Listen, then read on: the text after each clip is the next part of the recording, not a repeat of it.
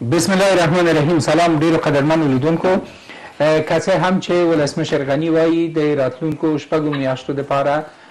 پر یو منظم پلان باندې کار کوي ترڅو د بهرنیانو د وتلو پروسه د دې پلان لمخې سر ته ورسیږي ولسمشر غنی دغه راز ډاډ ورکوي چې امریکا او اروپאי اتحادیه او نورو هېوادونو د خپلو مرستو د دوام ژمنه کړې ده، خو د دې په خوا کې د امریکايي ډیپلوماتانو نه پیل تر پوځي چارواکو او کارپوهانو پورې، دغه راز د غربي ډیپلوماتانو په ګډون یو شمېر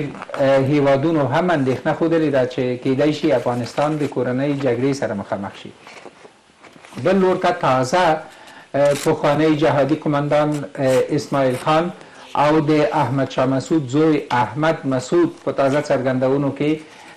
د طالبانو پر خلاف د احتمالي جګړې خبره کړې ده تر دې وړاندې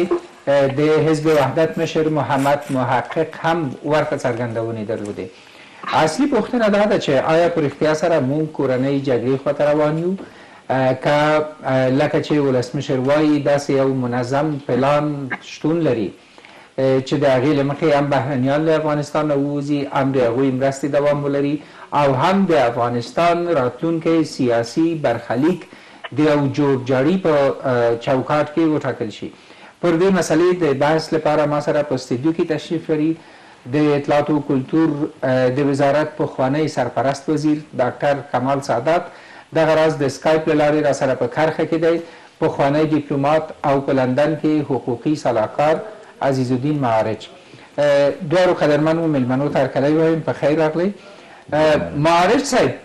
که خبره له همدې ځایه پیل کړو چې آیا کورنۍ جګړه پیلیدونکې ده کورنۍ جګړې خواته روان یو. مننه ناظم تاسو ته، تاسو تخنیکي همکارانو او قدرمنو لیدونکو ته او خوږ میلمه سرپرست وزیر صاحب ته سلامونه او احترامات وړاندې کوم. دا اوس دې ته چې کورنۍ جګړه پیل کېږي ابعاد یا مسایل یا قراین څه وايي؟ دا امکان لري که نه لري که دا وهم او ډار اول خو زه دا یو خبره وکړم چې کورنۍ جګړه په دې نه پیل کیږي چې کورنۍ جګړه مصارف لري دا بهرني او کورني عوامل دلته موجود دي چې هغه فعلي حالت کې دا نه ښکاریږي داسې نشته هغه کسانو چې کورنۍ جګړې کولې هغه کسان اوس ډیر شتمن سوي دي د دوی ډیر غټ لوی لوی سرمایه ګذاري هم په بهر هم په دنه په افغانستان کې کړې ده ډېرې مځکې غصبکړې دي، دوی د فساد له وجې نه ډېرې لویې لویې ودانۍ او تجارتونه شروع کړي دي، د دوی زامن او اولادان لوی لوی تحصیلات یې لېږلي بهر ملکو ته بېرته راغلي دي او داسې دلیل هم نه لیدل کېږي چې ما سره کورنۍ جګړه دوی وکړي ځکه دغه سیستم لږ یو نظم ته راغلی ده او بل ملت هم اوس هوښیار شوی ده د دوی په اشارو په دوی په خبرو که مذهبي مسایل دي که قومي دي دوی باندې څوک نه بدلېږي. دا یوه مسئله ده. بله امریکا دلته راغلې د امریکا وتل له دې ستراتیژیک نقطې نه امکان نه لري چې امریکا په یې سادګۍ ما له دې سیمې نه ووځي ځکه هغه په دې باندې پوهیږي چې زه له دې جره لاړ شم ته چین راځي روسیه راځي او خصوصا چین دې هلته سرمایه ګذاري ګانې کوي په معدن او نورو مسالو کې لکه څنګه چې له پاکستان او له ایران سره کوي دلته یو ډار او وهم جوړوي یو ډار او وهم جوړ شوی ده دا بدلګرنه کړۍ د دوی لاس پوڅي چې دلته ناست دي، دوی کدونه تي سپي روزلي دي، هغه کسان هم دا تبليغات کوي، دغه کورنۍ جګړه کيږي، روږدي مړه ځي، بدبختي کيږي، دا کيږي، دا دوه علته ده، امريکا يو غواړي چې خپل مصارف کم کړي، خپل مسوليت او څه کموي، لکه عراق کې چې ويل يې چې جګړه ختموم، مګر په عراق کې تر ننه پورې پنځلس عسکرتېري دم پاتې دي، لکه سوریه کې هم پاتې دي، په نورو سیمو کې لا اوس اوازه چې نور امریکایان هم افغانستان ته راځي، دغه خپل مصارف کموي او په ضمن کې دغه مسوولیت یو څه ملګرو ملتو سازمان ته هم ورکوي او ملامتي او دا مسایل په افغانانو بېرته وراچوي، ځکه دا اوسني حالات هم چې روان دي همدې خوا ته ځي، بله مسئله د دې لپاره زمینه مساعده کړي. يو فشار هم په دولت باندې اچوي چې زه وځم او تاسو سره خامخا چې وتلو کې خو اقتصادي مسايل بوديجه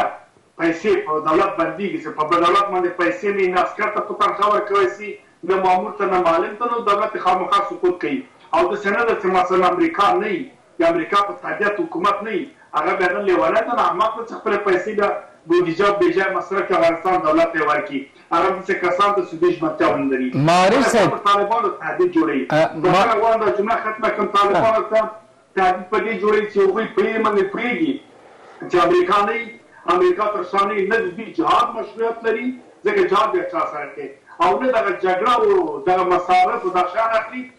بیا نو دوی دغه رول او دغه نقش بیخي په صفر ځای کیږي نو بیا تاویل ته څوک څه اهمیت ورکوي نو بنا دا یو تحدید جوړیږي چې په ترکیه کې راسي د سولې په نوم باندې یو د دوی په طبیعت باندې یو د دوی طرح چې راوړي دوی ته لاس کې ورکړې ده چې لږه تغییر او تبدیل کړي په دغه باندې یو فضا جوړیږي چې مثلا مشارکت پرې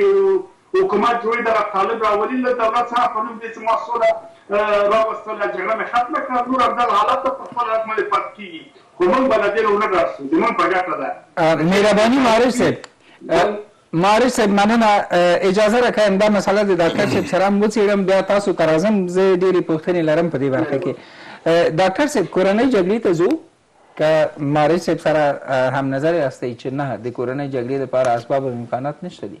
بسم الله الرحمن الرحیم جناب استاد عاطف صاحب توسی ته قدرمنو لیدونکو ته ای مونږ ډیر دروند سیاسی مخور مشر جناب استاد مارج صاحب ټولو ته دا وسلومیه زه دا خبره په دوو اړخونو باندې تقسیموم هغه داسې چې که چېرې نړیواله ټولنه په خپلو وعدو باندې بور وکړي، ژمنې، وعدې، چې د دوئ نظامي حضور له وتلو سره به دوئ په سیاسي لحاظ او همدا شان په کمکي لحاظ چې افغانستان سره به مرستې کوي او په دې لحاظ چې دلته به دننه په افغانستان کې د سیمې په سطحه د نړۍ په سطحه د سولې وروسته هغه راجوړیدونکې اجماع په افغانستان باندې نظر ستي او افغانستان به بیا هغې ځای ته نه ورکوي چې دلته د ځنو په وینا تروریستي ډلې یا داسې ډلې راپیدا شي چې هغه به بیا د جنګ د لارې واک ته رسیدل غواړي نو بیا خو ډیر احتمال کم دی چې کورنۍ جګړې دې ونښلي ليکن که داسې ونشي او که داسې اوسي چې افغانستان دوی هېر کړي لکه روسانو چې هېر کړی او دلته يو شمېر هېوادونه لکه ايران، پاکستان، روس يا چين نور هېوادونه چې د خپل نفوذ زياتول غواړي هغوی رامات شي دغې ځای ته بيا کومې ډلې سپورټ کړي او د داسې یوه حکومت د رمنځته کیدو په تکل کې شي چې د هغې هیوادونو اغیز په هغې کې ډیر وي نو بیا خو شته دی د احتمال چې. اوس ډاکټر صاحب داسې څه لیدل کیږي چې دوی د یوې منظمې محاسبې پر بنا ووځي او دغه مرستې دوام وکړي ځکه چې تر اوسه پورې خو داسې ژمنه نشته چې مثال مونږ ووځو تاسو ته د کال دومره روپۍ ورکوو، دومره د پوځیانو تنخوا، دومره پوځي لګښت، دومره د بیا رغونې پیسې. ولسمشر اوس وايي چې موږ لګیا یو، پر یو پلان باندې کار کوو چې مثال په دې شپږو میاشتو کې دا د وتلو د انتقال پروسه په یو میکانیزم سره ترسره شي. خو مانا یې دا ده چې تصمیم د وتلو مخکې نیول شوی، په مرستې وروسته بحث کېږي، دا په شک کې دی نو دا داسې خو څه نه تر سترګو کېږي. اصلاً کې خو په دوه زره څوارلسم کال کې کله نه چې د نړیوالو ځواکونو د وتلو لړۍ پیل شوه په هغې وخت کې ډېر محترم جناب جمهور رئیس اشرف غني صیب د هغې پلان د انتقال د پروسې مشر و لیکن مهمه موضوع اوس دلته دا دی چې آیا نړیواله ټولنه چې د دوی واده ژمنې کړې دي چې دوه زره څلورویشتم کال پورې به له افغانستان سره مرستې کوي یا دوه زره څلورویشتم کال پورې موږ درې نیم کاله شاوخوا وخت لرو آیا دوی دغه مره نظمي مرستې په نورو ملکي مرستې دای افغانستان سره کوي که څه دریم اړخ یې داسې یادولی شم چې که چېرې دلته سوله رمنځته شي بیا په سیاسي لحاظ هغه سیاسي مشارکت موجود نه وي کومې ډلې مړه ټپلې خفا شي بیا هم امکان لري د خپل منځي جنګنو جنګونو دریمه دا چې که چیرې انتخاباتو ته لار هواره نه شي په انتخاباتو کې بیا درغلۍ وشي تاسو ته یاد دي جناب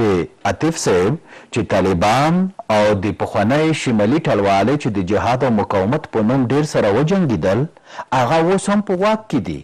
بله خبره دا چې دلته پخوانیو جنګسالارانو یا که په بله مانا ووایم ځینې قتیلینو چې د افغانستان د شهداوو په وینو باندې یې تجارت وکړ، هغوی اوس ډېرې لویې ځمکې لري، سرمایه ګذاري یې کړې ده، دوی نه وېرېږي چې که چیرې داسې یو حکومت رمینځته شي چې هغه له دوی نه پوښتنې وکړي او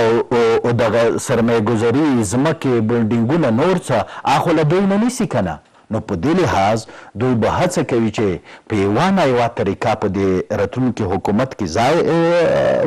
پیداکړي او د دوی دغه سرمایه ګذري چې دلته دي بلډینګونه یې جوړکړي دي دا څوګ حکومتی ترونه ګرځوی په حکومت کی دخیل نه کی یا دی دوی سرمایه ګذری څوګ کنګل نه کی نو په دی لحاظ دغه څو اړخونو ته که موږ تاسو متوجه شو نو دی جنګ احتمال هم شته او دی جنګ احتمال هم نشته لیکن اوس چی دی سولی ملي عالي شورا کوم پروګرام پیل کړی دی یا د سولې وزارت یا قطر ته کوم پلاوی لیږل شوی دی مونږ خو مننه کوو استاذ طیب صیب اوبه خیر. زه خیر دې مسلې ته بیرته راځو دا د سولې او د قطر او ترکیې مسلې ته بیرته راځو معارج صیب ځینې ما د ځینو شخصیتونو نومونه واخیستل هغوی په ښکاره تقریبا د احتمالي جګړې خبره کوي د طالبانو په وړاندې هغوی وسلې لري، مهمات لري، همدا اوس دغه وسله والې دومره پیسې لري چې چلېږي. د ځینو ګروپونو راځئ چې نومونه واخلو. قیصاري وسله وال لري، مارشال صاحب دوستم وسله وال لري، د احمد شاه مسعود زوی احمد مسعود وسله وال لري، محمد محقق یې لري، علي پور هلته پروت دی، داسې په رساو نور هم دي. او دا خو بې له اکمالاتو نه امکان نه لري چې وسله وال ولري او اکمال ونه لري خو معنا یې دا ده چې اکمالات هم لري هر یو به یا یو هیواد سره اړیکې لري ورسره مرسته کوي او بدبختي دا ده چې کېدای شي ځینې هیوادونه کورنۍ جګړې ته لاره دې دپاره هم اواره کړي چې د امریکې او ناټو ماموریت په افغانستان کې ناکامه وښیي مننه دلته یو دوه خبرې باید موږ داسې وکړو دوه مسئلې باید وڅېړو یو دغه کورنۍ جګړه موږ یادوو چې کورنۍ جګړه پیل نه شي کورنۍ جګړه پیل نه شي دا یو حیرانوونکی سوال ده ځکه موږ دغه څلوېښت کاله په کورنۍ جګړه کې یو دغه اوسني حالت کې دغه کورنۍ جګړه شته دا چې د ارګ یو څو نفره ناست دي په ده باندې بم نه اورېږي یا نه مړه کېږي یا په بعضو ولایتو مرکزو کې ناست دي هغه بیا جدا مسئله ده ګورئ طالبان مسلح دي جګړه کوي راځي دننه په ښار مينځ کې مشکوک موټر ګرځي بې پليټه موټر ګرځي تورې شيشې ګرځي ولايتو ته چې ځې تذکره دې غوښتل کيږي دننه ولايتو کې اجازه نه لرې چې وړاندې لاړ شې مسلح خلک ستا راوځي ښار ته وايي ډزې کوي وحشت جوړوي خلک مړه کوي هر وخت چې وغواړي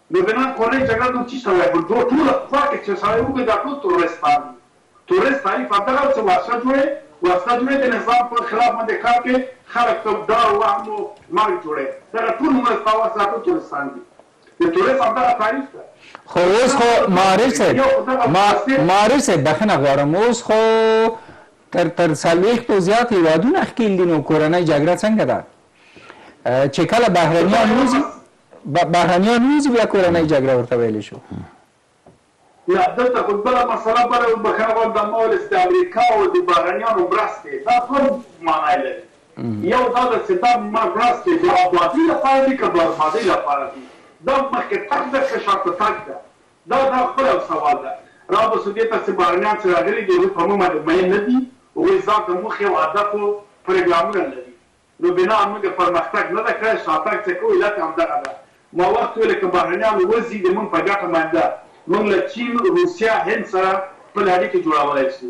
مونږ یو کار کولای شو چې په خپل اقتصاد ته متوجه کیږو مثلا له چین سره د معدنو په باب څنګه کې مونږ تړون کوای شو دغه یو څه ډلې ملې چې دي دا هم دغه قیصاری ده که علی پور ده که د مسعود زوی ده که نور دي محقق ده او دا کسان چې راپورته کیږي دا دوه هدفه لري یو د دوی ذاتی د امتیاز لپاره دوی پوهیږی چه اوس نوی حکومت را روان ده ایتلافی حکومت ده دی که خپل سهم لټوی دوی مضاهدی ته ځی نه مذاکره ته دوی غنایمو ته ځی دوی سره کومه خاصه طرح د ملت لپاره نشته او دوی کوم مشروعیت هم نلری ځکه له ملت سره خبری نه شریکوی ملان د دوی مطلب دا ده چه امتیاز ورکړی بل دغه باداران دوی ته وایی چه او تهدید جوړ کړی تهدید معنی دا ده چه د هغوی دغه پروګرام پلی سی چې طالب او حکومت دا اوسني دا مفسدين او د طالبانو چې په قطر کې دي دواړه راولي او مشترکت حکومت يې جوړوي دغسې يو ډاډ جوړ کړی ده نور دغه شرايط څه وخت وزير صاحب هم وويل هېڅ امکان نه لري دلته ګډوډي هسې راسي روسان هم چې ووتل روسان هم بې بې مسؤليته ونه وتل امريکا غږ پرې وکړ چې راسه دلته مسؤليت دې ادا کړه بيا وځه هغه لاړ په ژنيوا کې پنځه فرقه يي معاهدې امضا کړې داسې يو ډله د شوره نظارو د ستميانو پخواني پټشیمان کېناستل، په جبل سراج کې دغه ټوله پروسه یې شنډه کړله، کابل ته راننوتل، بې مسولیته چور چپاول یې جوړ کړ، ټول ګوندونه د جنبش و وحدت و اسلامی و نور یې نفي کړل، دغه بې نظمي و بې ګډوډي و جنګ و جګړه دوی منځ ته راوستله، په دې پروګرام و وېب سازانو او امریکا دې تجربې ته ګوري، کله چې وځي، اوس خو په دې حالت کې نه وځي، کله چې بیا دوی وځي هم، بیا بلال دا څه پروګرام جوړوي تنظیموي کنټرولوي یې دوی بیا څه نشي کولای په غاړه کړي. تاسو ویلي چې امریکا نه وځي دوه ځلې مې دا خبره یاده کړه اوس خو یوازې امریکا نه ده یوازې هغه پخوانی ولسمشر د امریکې نه دی چې دا خبره کوي ناټو هم ورسره مني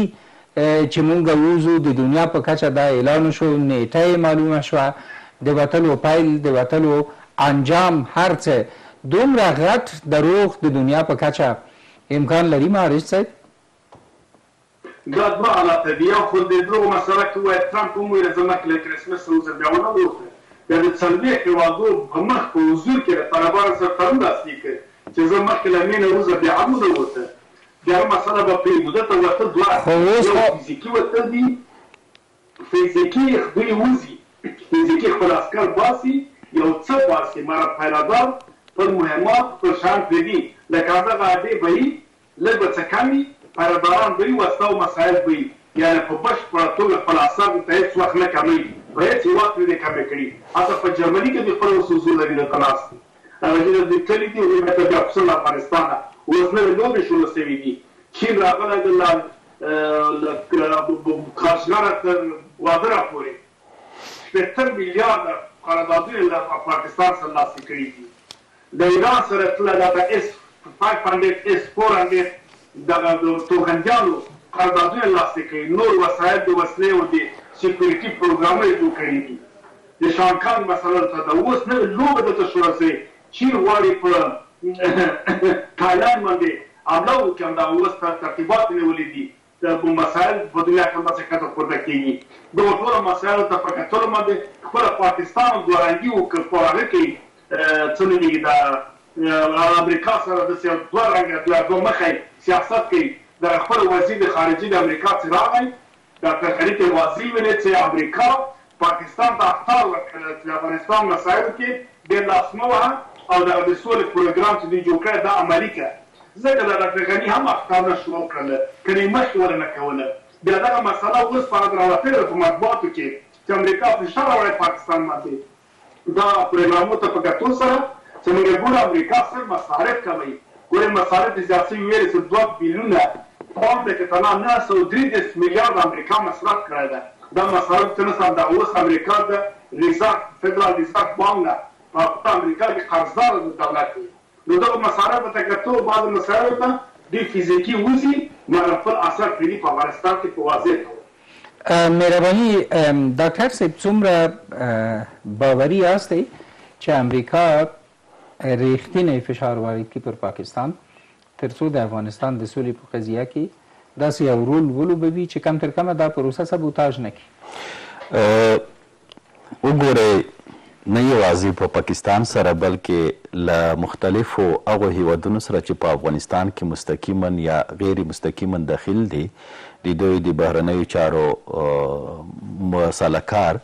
جناب ډاکټر صاحب زلمی خلیلزاد هغې هلې ځلې وکړې لیکن رښتیا ده چې پاکستان د افغانستان په حالاتو کې خورا ډیر مهم رول لوبوي او په دې وروستیو کې ښه روله مو لوبوی او مننه هم تری کوو کور یی ودان امید دادی چی امید دادی چی په رتلونکی کی نور هم ښه رول ولوبوی سړی وګوری دی سولی دی پاره امکان ډیر کم وو چی طالبان دی سولی خبرو ته کینی دی دوی سره طالبانو سره یی راشه درشه له هغوی سره یی د افغانستان سره دی خبرو دی پاره کینول همدا شان په نورو اړخونو کی لیکن پکار ده چی نور هم ډېر څه وکړي، نور هم ډېر څه وکړي. طالبان په نړۍ کې له نورو هېوادونو سره دومره ښې اړیکې نه لري لکه پاکستان سره. اوس یې هم مشران په پاکستان کې دي، ملا عمر صاحب هم په پاکستان کې او همدا شان د هغوی نږدې ملګری اسامه بن لدن هغه هم په پاکستان کې او اوسني مشران یا نور نور د حقاني صاحب ډلې کسان د هغوی زامن په پاکستان کې دي نو دا دا معنی چې له پاکستان سره ښې اړیکې لري په دې وروستیو کې د سولې په اړه مثبت اقدامات ته وکړل ښه قدمونه یې پورته کړل لیکن هیله توقع دا دی چې نور هم د سولې په برخه کې کوټلي ګامونه پورته کړي هغه خفګانونه چې د دواړو هیوادونو ترمنځ رمنځته شوي دي هغه رفع شي نو. هغه پاکستان به وکړای شي چې طالبان په ترکیه کې د خبرو میز ته حاضر کړي؟ فکر کوم چې که د امریکې فشار یا اړیکې له په پاکستان سره د نورو هیوادونو د افغانستان ټینګار وي تر و بریده به وکړای شي لیکن د امریک د ترکیې په کنفرانس کې به ګډون ونه کړي ځکه چې اوس وخت هم کم دی او او نړیوال ځواکونه هم نه دي وتلي، د قطر د قرارداد د تړون ډېر داسې بخشونه وو، څانګې وې، برخې وې چې هم طالبانو عمل نه دی پرې کړی، هم افغان حکومت، هم نړیوالو ځواکونو، نو په دې لحاظ دلته یوه نیمګړتیا رامنځته شوې ده، د دغې نیمګړتیا د ډکولو دپاره یو څه وخت او قوي ډیپلوماټیکو هلو ځلو ته اړتیا دی چې دا به په دومره کم وخت کې تر سره نه شي. خو دنیا غواړي همدا د پاکستان نه مثال امریکا غواړي، ترکیه غواړي، افغان حکومت غواړي چې باید طالبان وهڅوي چې د خبرو میز ته حاضر شي. ښه کوي او ښه خبره ده چې ټول په پاکستان باندې دا فشار راوړي، ډیپلوماټیکې اړیکې ورسره نورې هم قوي کړي او راشه درشه ورسره ډېره کړي، لیکن وخت کم دی، او دلته هغه د قطر قرارداد چې کومې شرطونه وو په هغې باندې دواړو اړخونو کار نه دی کړی به عملي کړي یې نه دي نو که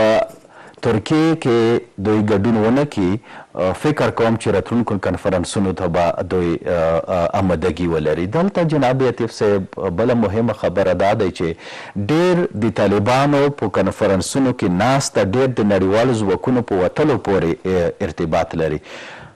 د اول د مۍ ته څو ورځې پاتې دي، دا به هم راشي. داسې اندېښنې دي چې طالبان به بیا په نړیوالو ځواکونو بریدونه پیل کړي؟ نه، فکر کوم چې ډپلوماټیکې هلې ځلې هغې ځای ته رسېدلې دي چې دا بم طالبان ورسره ومني چې شپږ میاشتې څو میاشتې به نور هم نړیوال ځواکونه په افغانستان کې پاتې شي دوی به بریدونه نه پې کوي لیکن له هغې وروسته به څه کېږي ایا مشترک حکومت راځي موقت حکومت راځي چې مونږ یې مخالف یو باید رانه شي یا په نورو اړخونو کې خو عمومي عمدتاً خبره دا دی چې د نړیوالو ځواکونو په وتلو سره به دلته د خبرو نوی پړاو پیل شي، دا به داسې پړاو وي چې هغه به پرېکنده وي، یا به افغانستان په مکمل ډول سولې طرف ته ځي یا به دلته خدای مه که کومې ستونزې رامنځته کېږي. مهرباني معارج صاحب یو خو د ترکیې ناسته ده چې په مخ کې لرو، ټینګار په دې باندې کېږي چې باید د طالبانو تحریک په کې برخه واخلي، بل د پاکستان نه دنیا په خاصه توګه امریکا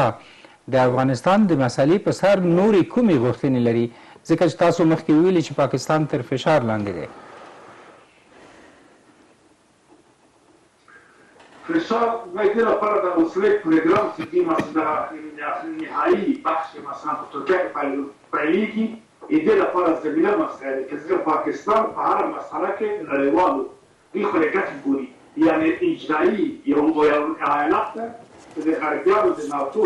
موخې دې عملي کړي په سیمه کې خصوصاً په دې سیمه کې د دې لپاره دوی بیا خپل دا پنجابیان چې دي خصوصاً اسلامیان دوی هوښیار دي خپلې ګټې خپل امتیازات په دې کې اخلي ځکه وخت ما یو اشاره وکړه د مونږ دغه اوسنی نظام دا اوسنی شرایط د ګاونډیانو مو تخت په ګټه باندې ده ځکه دوی مستقیمه ټول ګوډاګیان خپل لاس پوڅی لري په حکومت کې ناست دي دغه زمینه دوی ته ډیره مساعده ده نو اوس ګورې په همدغه حالت کې چې نظام شته چارتراش وړل کیږي اوبه دوی ته ورکول کیږي خوراکي توکې دوی له دیجله معدلو ګیجیټ لاس رسی لري نه پلی ځو راځی دوی دغیر معیاری توکی افغانستان ته راځی په دی کی څوک پښتن نه تر کوی دغه اوسنی نظام هم د ایران هم د پاکستان په ګټه باندی ده که چیری دلته جګړه ونښلی او جګړه زیاتی بیا دوی دا امتیازات له منځه ځی او یا که بل دسی قوی نظام راسی ثابت ثبوت نظام راسی هغه خامخا د یو نظام په شکل باندی بیا دغه د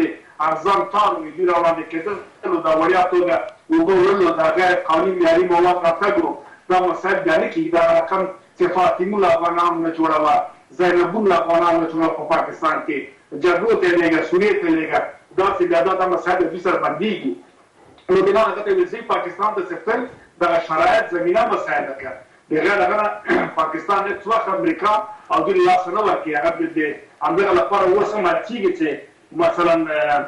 چين دلته رانسي ګوره که امريکا او دوی په رښتيا باندې غواړي او رښتيا فشار هم په پاکستان باندې راوړي او دوی رښتيا افغانستان ته ژمنتيا د سولې لري نو که يو ماشوم په دې باندې پوهېږي چې همدا اوس امريکا ته ټولې منابع معلومېږي د ان کورنيم بهرنۍ د جګړې دننه معلوم دی چې چېرته په افغانستان کې وسله ده لاړ دې سي دايکوندي ته ګوندې وګوري مهمات پنجشېر کې دې وګوري خوجه باوطن کې دې وګوري شمولغان کې دې وګوري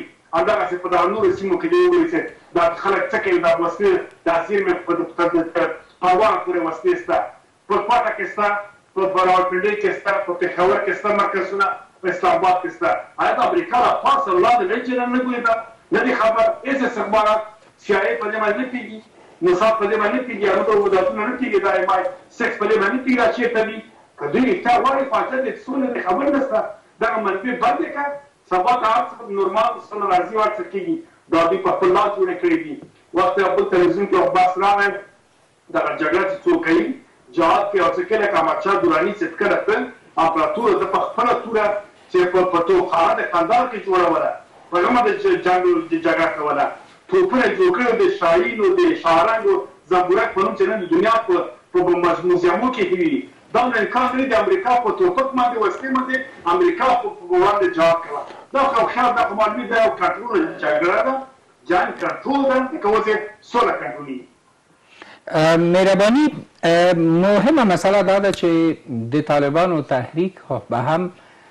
کومه غوښتنه لري، مثال که تر فشار لاندې راځي چې تاسې په دې پروسه کې برخه واخلئ نور جګړه پای ته ورسوئ، ائتلافي حکومت، شریک حکومت خو طالبانو مخکې د مخکې نه رد کړی دی. طالبان که دې واک اختیار درلودلای، که واک اختیار دوی خپل وای، دی به مه راکښې له ما سره يو کال به شه دا تړون چې د امريکا سره تاسې کړ د اوسي و امريکا ته چې ما سره د مينه مخکې به تلې وه نه نه اوسي دا د سينيا او کوکيني هادو د نړۍ ته د عريضه يو يو درخواست وړاندې کي که تا له بار وار ګرو دا خو دي ويلې چې موږ مسکو ته نه ځو بيا ولې دا ټول کس مسکو ته لاړل له همدغو متقاسمو ډلو سره کيناستل دی خو وای څه موږ شر فساد وارل و نه پیږم ته دا کسان غله و دم هغه کړل او دا بل مقابل ورته وای څه موږ د تاسو پر وړاند مقاومت کړی ده و پردی وهلی ده خو هلته یو مقتدی وای خو دا و په همغه کرملین او په همغه مسکو کې سر ناست و او همغه له کرزي نه شکایت کاوه له کرزي سره نه چې بیا لس کاله حکومت کې موږ بمبار کومړی کړو سره غیږ په غیږ ناست و.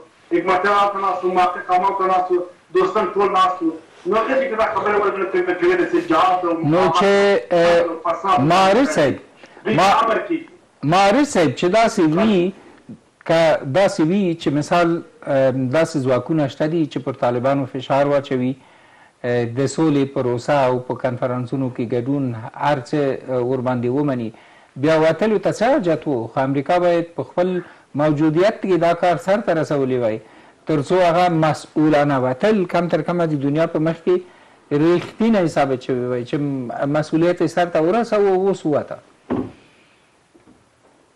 ګوره دغه د طالبانو خو تاسو خبره وکړه دا خو د طالب عبادت ده دغه وسلې او پیسه څوک پکې اخلي ده دوی د خپلې منبع وویل چې کله چې پیسه او وسلې بل درکوي نو باندې بندې کړي تا نور نو اوبه وچې دي نور نو بیا چه نه شې کولی نو راوړو دغه یوه مسله چې امریکا د اغلي وزیر د اغلي ډاکټر صاحب زلمي خلیلزده له څو مودو نه مخکې تقریبا پروسه کړه نو واضح یې ویل چې امریکا چې راغلې چا نه اجازه نه ده اخیستې او چې وځي هم چاته زاره د اجازې نه لري.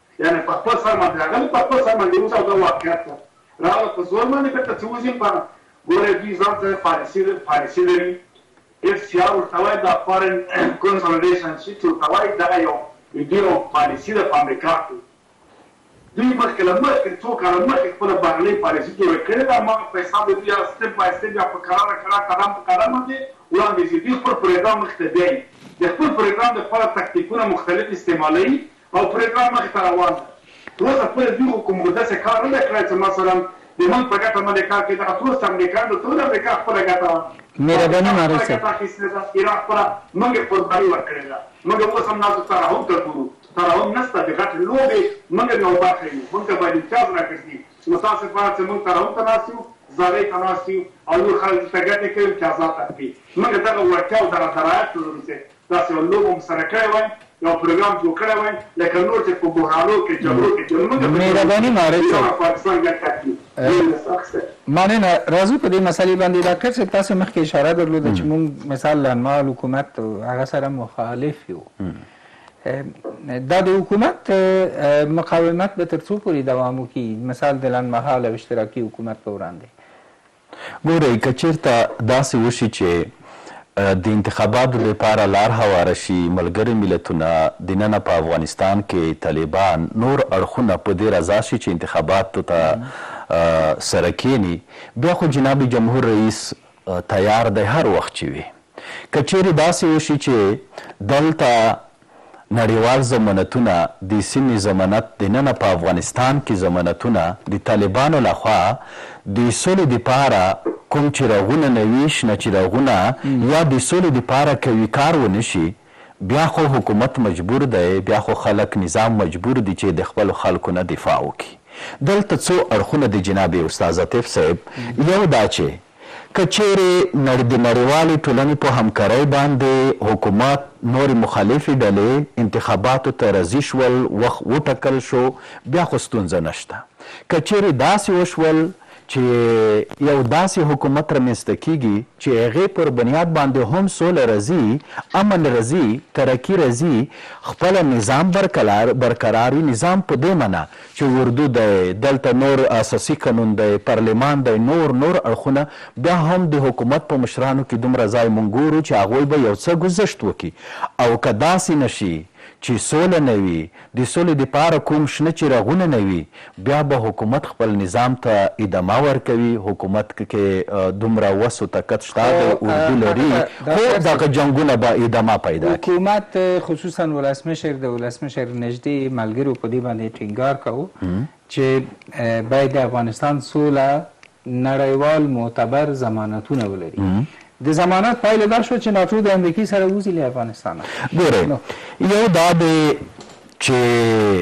د کومو هېوادونو نظامي مرستې یا نظامي شتون دی یا د کومو هېوادونو په ملکي برخه کې یا سیاسي برخه کې مرستې دي دا فرق لري.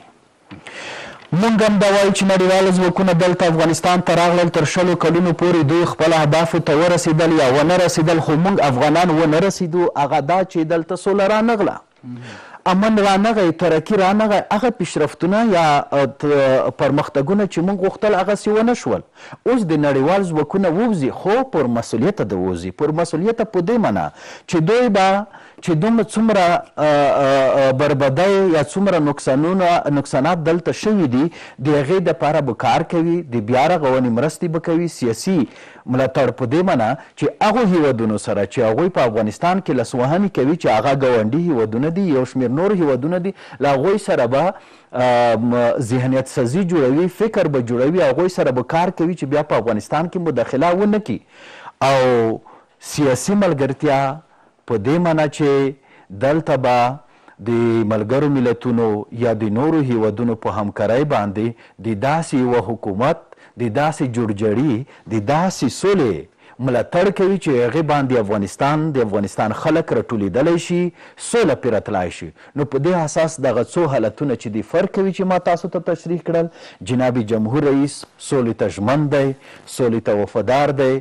او څومره زیات کار دننه په افغانستان کې یا له افغانستان نه د باندې چې ده کړی دی، له ډاکټر صاحب نجیب الله نه وروسته دویم دی دی چې ډېر کار یې وکړی. ښه چې یو جمهور رئیس برحال جمهور رئیس په انتخاباتو کې چې ګټلی جمهور رئیس دې ته تیار شي چې سبا ته راشئ د افغانستان د بهبود د ترقۍ دسولې دپاره انتخابات درسره کوم نوره قرباني څنګه وي همداشان په نورو اړخونو کې درته وایي چې چی دی افغانستان په جوړیږی په سوله امن باندی یو بل شی ته به هم موږ خلک تیار کو مو او عام خلک یا دی ګټی مطلب څه استعفا ولسمشر خو وایی چی استعفا نشته څو پوری چی د انتخاباتو له لاری واک ونه لیږدم کنه دغه لیږد د واک د انتخاباتو له لاری ونشی نو بله خبره نشته که چیرته داسی وشی چی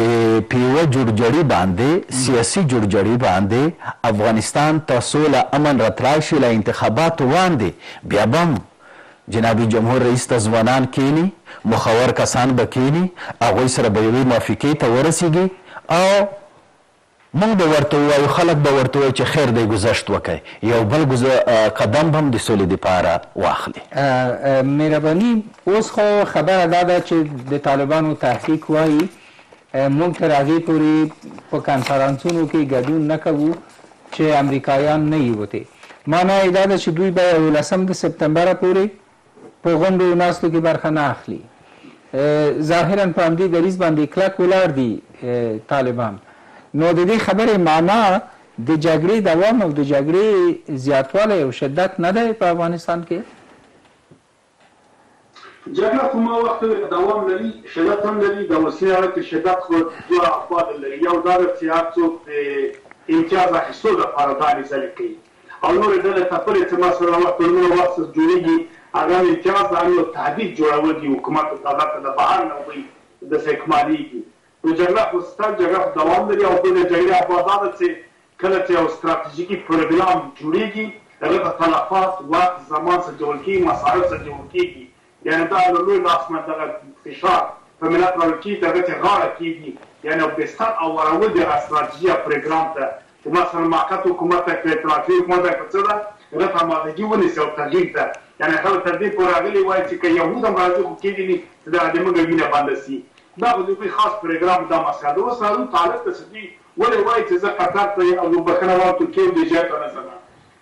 طالب په دې باندې پوهېږي چې ما سره یو توپک ده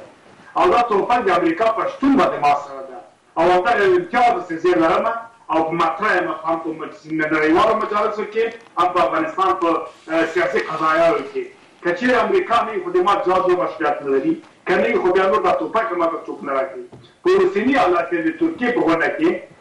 طالب په دې باندې پوه شوی ده چې امریکا په خپلو پخوانیو کدرو باندې هغه د پاکستان د اعلان د جوکه روزل شوي د امریکا په حصو لکه دا اوسني چارواکي چې دي چې مثلاً لکه یو سل یا دوه سل نفر یې سندره ټول واک اختیار ټولې چوکۍ او ټول مسایل حتی دا اور د سولې طرحې او دا مسایل د دوی په لاس کې دي دوی مشروعیت لا اول دا واک چا دوی ته ورکړی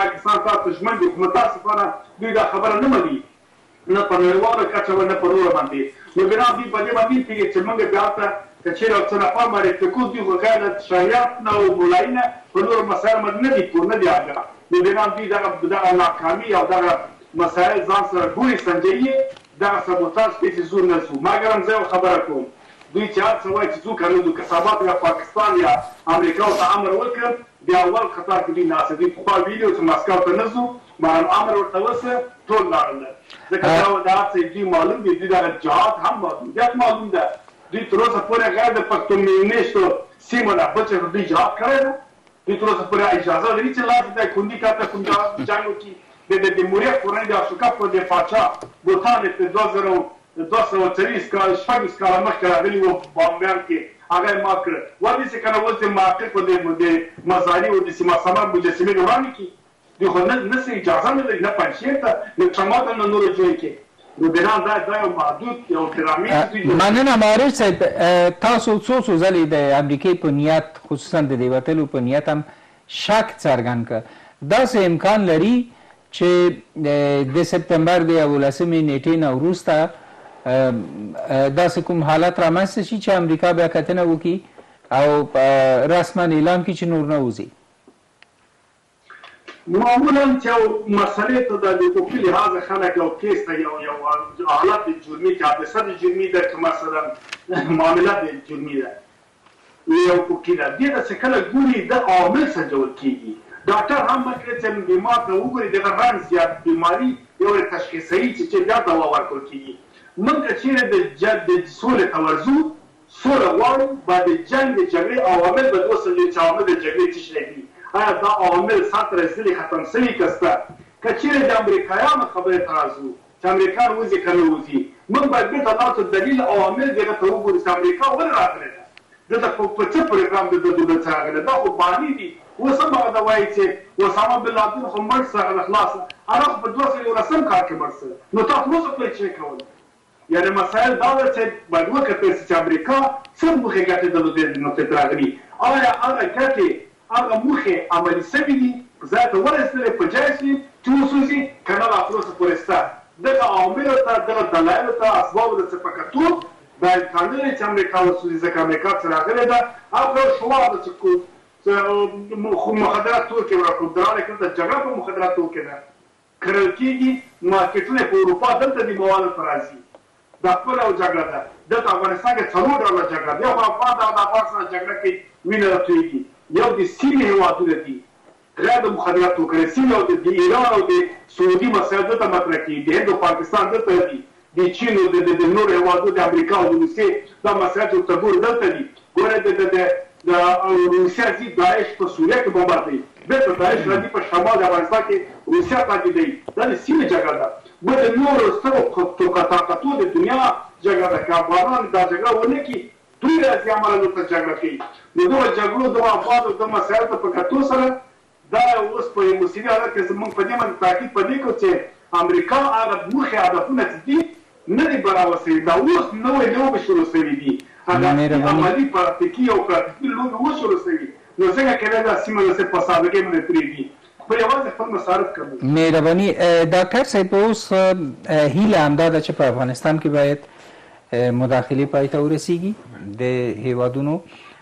او هغه هیوادونه چې تر اوسه پورې یې مداخله کوله باید د سولې له پروسې سره مرسته وکړي،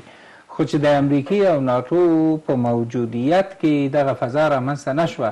چې مثال مداخله کوونکي هیوادونه مداخله پریږدي، اوس چې دوی وځي نو دې نه وروسته به دوی حاضر شي چې مداخله پریږدي؟ وګورئ دلته مشکل په دا کې دي، ستونزه په دا کې دی چې هغه هیوادونه خاصتاً ګاونډي یا نور څو هیوادونه چي د افغانستان په مسله کي دخيل دي او مداخلې کوي، ستونزه په دې کي وه چي نړيوال ځواکونه دلته دي ځکه دوئ مداخلې کولې، دوئ داسي پروګرامونه جوړ کړل، دوئ داسي اړيکي له نورو سره ونيوې چي دلته ستونزه رامنځ ته کړي. که چيري نړيوال ځواکونه له افغانستان نه ووځي پر مسئوليته ووځي فکر کوم چي د دوی هغه فشار چې په افغانستان کې غیر مستقیم غیر سیاسي یا غیر قانوني مداخلې کولې په هغې کې به هم کموالی راشي. بله خبره جناب عطیف صیب دا دی چې اوس داسې ګنګوسي دي چې که نړیوال ځواکونه له افغانستان نه وځي دلته کومه تشه رامنځته کیږي خدای مه که دخیلی جنګونه بیا پیل کیږی نو دچین خبره کوی خلک چی دچین ځوکونه به دلته رزی په مختلیفو ځینو کی به وی ځکه چی دچین پاکستان سره ایران سره روسیه سره دنورو هیوادونو سره ښی اړیکی لری نو کنه یوه یو یوه ډله بهرنی ځوکونه وزی بله ډله بهرنی ځوکونه رزی دا به دافغانستان راتلونکی څنګه وی د چین نه منه له افغانستان سره بیلابیلو اړخونو کې مرستې کړې دي لیکن مونږ له خپلو مشرانو نه دا غوښتنه کوو، له نورو سیاسونو نه دا غوښتنه کوو، له بهرنیو ملګرو نه دا غوښتنه کوو چې که چیرې دا ګنګوسې رښتیا وي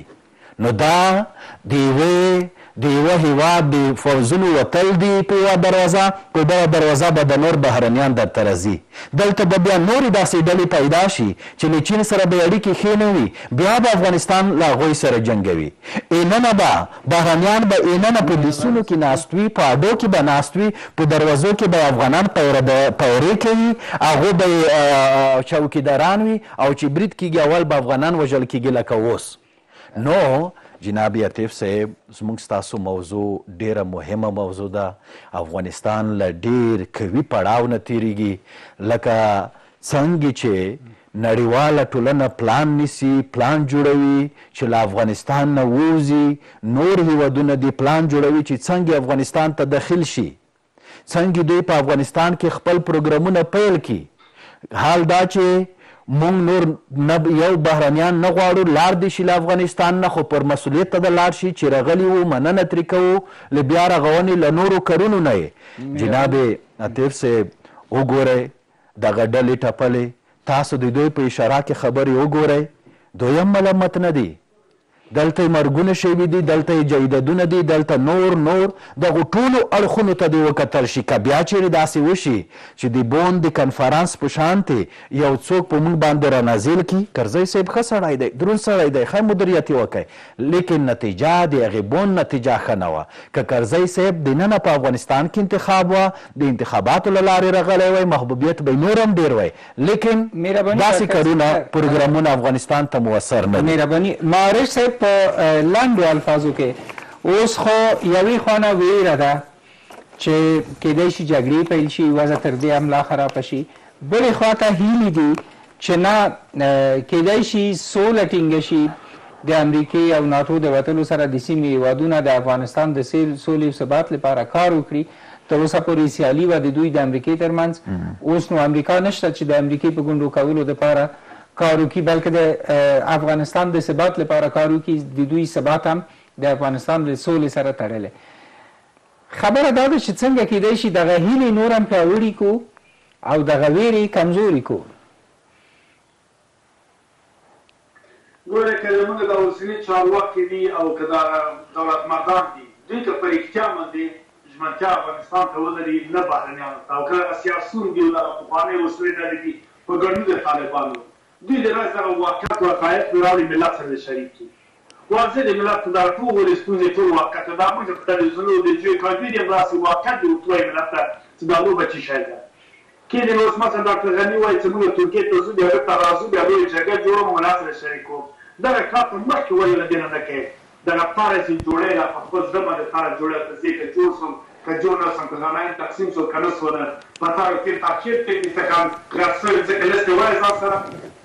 دغه دومره پیسه او سرمایه او فساد څه راغلی ده او وتلی پیسې سیګار پرې خبر ده د سیمې سرباران خبر دي دا لست تا جوړ کړی ده ښه اوس که. محکمې لپاره که دا حق الله دا دې جوړ کړی ده چې دغه یتیمانو خلکو باندې تجاوز سوی خلکو د سیمې پرول سوی د دوی دغه تاوان بیا څنګه کیږي د غنایم دغه مثلا دغه د مجرمین د جګړې څنګه کیږي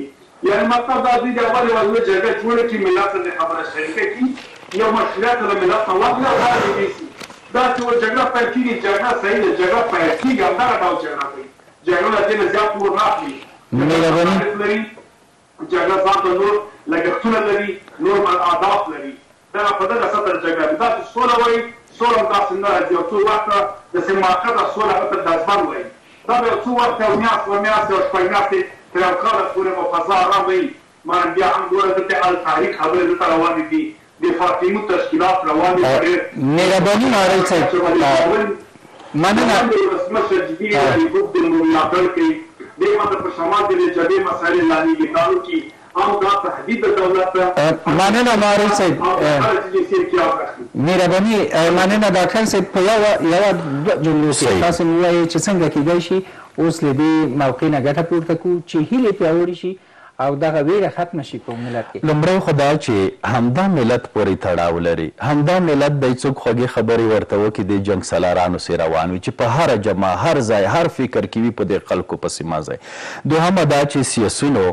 قدرمن، عزتمن، اوږدمهالی سیاست هغه خلښ کولی شي چې هغه په د خلکو په زړونو باندې حکومت وکړي، ظالم امپراتور په جغرافیا حکومت کوي. وګورئ!